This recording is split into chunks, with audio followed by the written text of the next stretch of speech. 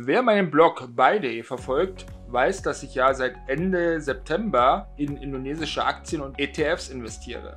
Wie sich meine Investitionen im Monat November entwickelt haben, darüber möchte ich heute in diesem Video berichten. Mehr erfahrt ihr nach dem Intro.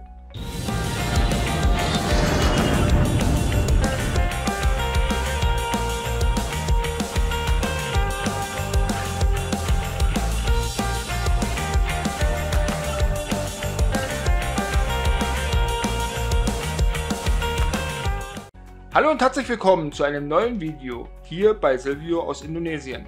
Heute soll es um das Thema Investieren in Indonesien und meine Investitionen an der indonesischen Börse und in P2P-Krediten gehen.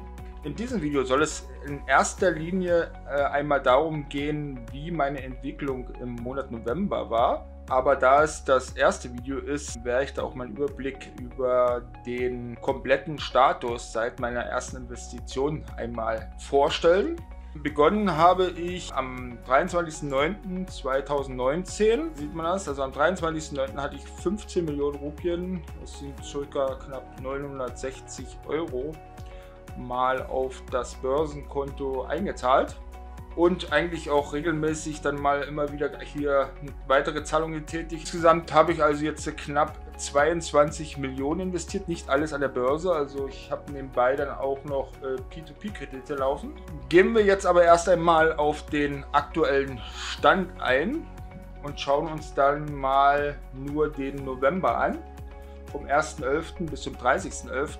Wir sehen hier schon einen Verlust von minus 0,3 Prozent.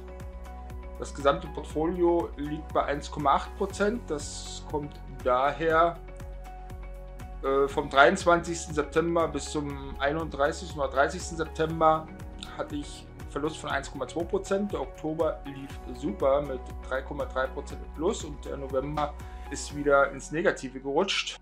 Insgesamt habe ich jetzt äh, einen Kurserfolg von 390.000. Der war schon mal auf einer Million. Das sieht man hier. Ja, da hatte ich dann schon eine Million zusammen. Schauen wir mal an, in was ich investiert bin. Auf die einzelnen Aktien möchte ich jetzt in diesem Video nicht eingehen. Wie man sieht, bin ich sehr flexibel aufgestellt.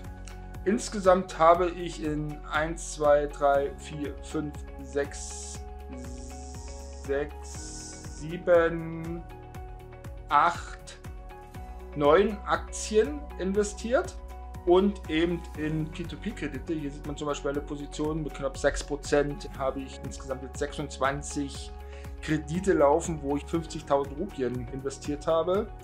Nur mal so zum Anmerken für die, die nicht wissen, was 50.000 Rupien sind. Also der Kurs liegt derzeit bei knapp 1 Euro, sind 15.500 Rupien so überschlagen.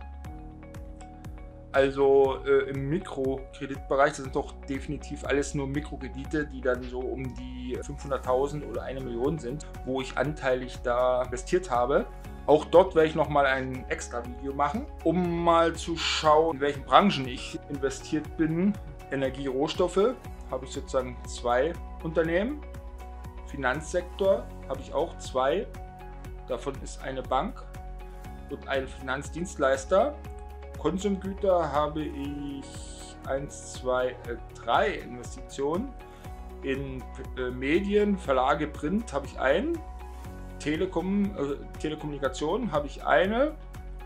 Dann habe ich zwei in ETFs und eben hier in P2P-Krediten. Schauen wir uns mal die Entwicklung zum Leitindex von, von Indonesien.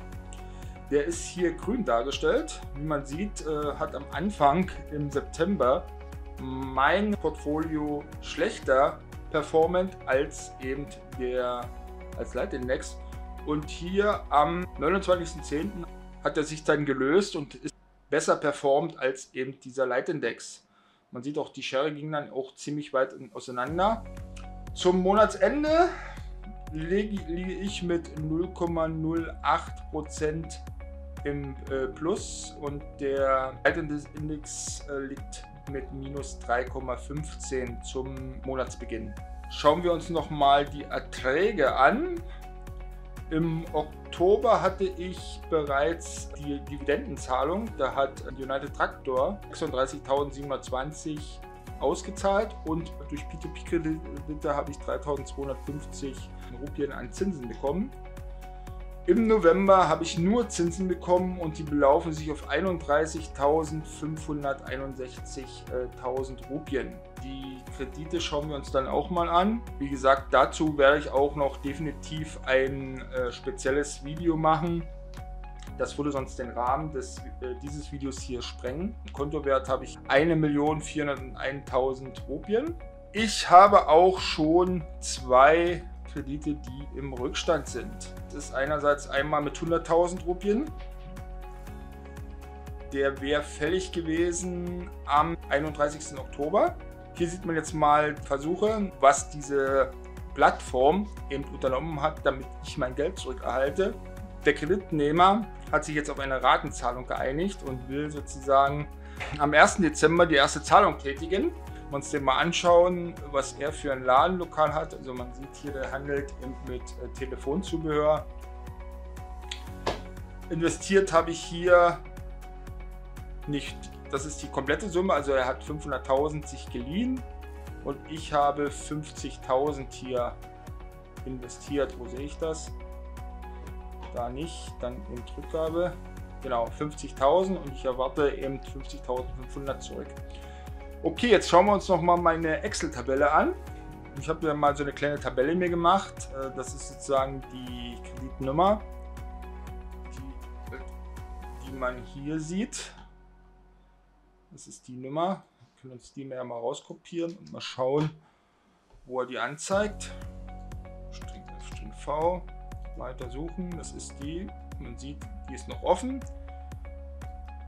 Ja, da ist die andere offene, die mit 100.000.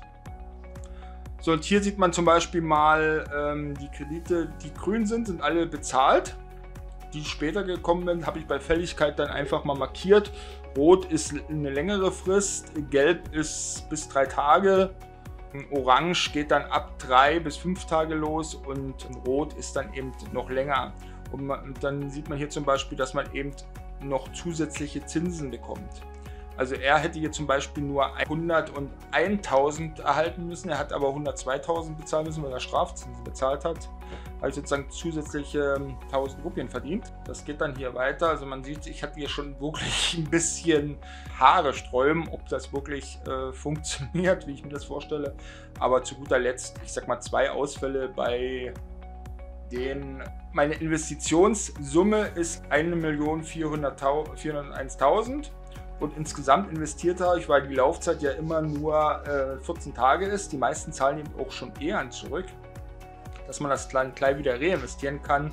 Insgesamt habe ich sozusagen seit dem 17.10. habe ich die erste Investition äh, getätigt, habe ich insgesamt 4.075.000 Rupien investiert, wobei ich dann insgesamt einen Gewinn von 34.811, das müsste man ja hier auch sehen in meiner Liste, genau hier ist die, die Zinsen, die ich erhalten habe.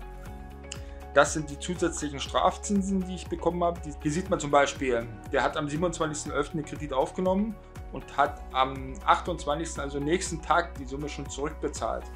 Okay, gut. Dann schauen wir uns nochmal die normale Übersicht an für den Monat November. Also insgesamt habe ich jetzt mit P2P-Kredite 21.876.204 Rupien. Wir können hier nochmal auf die Börse eingehen. Hier sieht man zum Beispiel den Leitindex, den IHSG. Die Entwicklung, die habe ich ja bei mir auch mit drin, wenn man sich das mal anschaut. Diagramm, genau das ist die. Ja, ist hier bei ach, sehr bisschen Prozente gestiegen. Müsste ja dann hier auch gestiegen sein. Genau. Hier in der letzten Position ist gestiegen. Ja, also der Leitindex. Dann schauen wir uns mal die, das Portfolio an äh, direkt an der Börse. Also das sind die Aktien, in die ich investiert habe. Und dann habe ich noch in ETFs investiert. Die können wir uns auch nochmal anschauen.